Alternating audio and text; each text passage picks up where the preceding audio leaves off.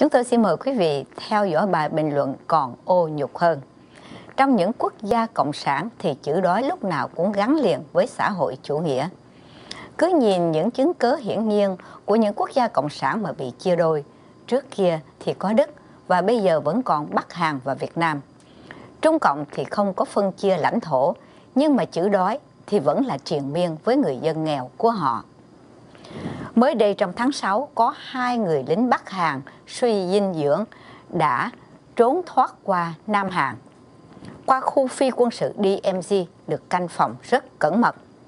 Thật ra đã có hàng chục ngàn người Bắc Hàn đã bỏ trốn sang Nam Hàn, nhưng mà chuyện những người lính vì đói phải phải trốn đi, đó là chuyện khác thường. Tuy nhiên điều đó cho thấy nạn đói cũng vẫn còn rất trầm trọng ở tại xứ Cộng sản Bắc Hàn. Chuyện vượt khu quân sự DMZ là một chuyện không phải dễ dàng vì phải băng qua cái dải đất dài 250 cây số và rộng 4 cây số, cắt ngang hai miền Nam Bắc Triều Tiên. Khu DMZ lính gác có hai miền dày đặc với nào là hàng rào kẽm gai, mạng camera theo dõi, hàng rào cấm điện, bãi mìn. Và nếu phía Bắc thấy có một động tĩnh nào trong khu phi quân sự là họ sẽ nổ súng. Thế nhưng hai anh lính này quả là đói thì đầu gối phải bò. Đói cũng là chính sách mà Cộng sản dùng để cai trị người dân, nhất là những người mà chúng giam cầm trong ngục tù như chúng đã từng đối xử với quân dân cán chính miền Nam trong trại tù Cộng sản sau năm 1975. Chúng khống chế người tù bằng bao tử để đạt được những điều chúng muốn. Chính sách đánh đập và bỏ đói tù nhân là chính sách độc ác phi nhân, có từ thời Hồ Chí Minh khi ông ta đem ách Cộng sản trồng vào cổ dân tộc Việt Nam.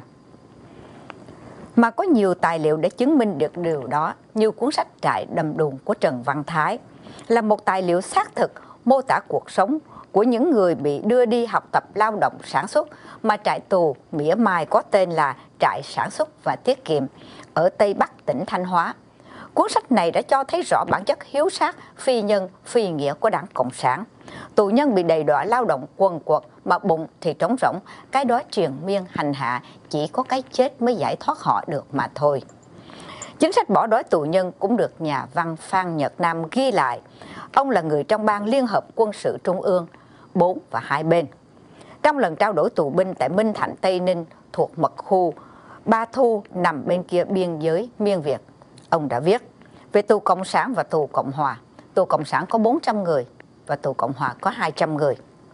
Đoàn tù Cộng sản bước ra khỏi máy bay thay vì có nét mặt sung sướng vì được trả tự do, thì họ lại mang một nét mặt căm thù, cố hữu. Họ vỗ tay, vừa hô to khẩu hiệu, đoàn kết của chúng ta là sức mạnh, thề chết không hề lui, giết cho hết loài bán nước và giơ tay hô to, Hồ Chủ tịch muôn năm tinh thần chống Mỹ cứu nước bất diệt. Đám tù Cộng sản bị bắt đã quên đi những đối xử nhân đạo ở trong tù Cộng Hòa.